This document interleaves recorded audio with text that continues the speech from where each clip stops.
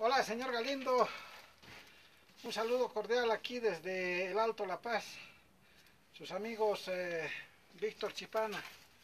Las primeras aves que tenemos acá, que usted gentilmente nos ha podido dotar para iniciar nuestras actividades.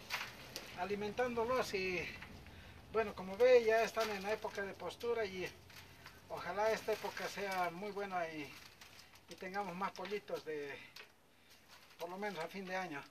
Un saludo desde aquí, desde La Paz, y también un saludo a todos los de la asociación, a su avestruz.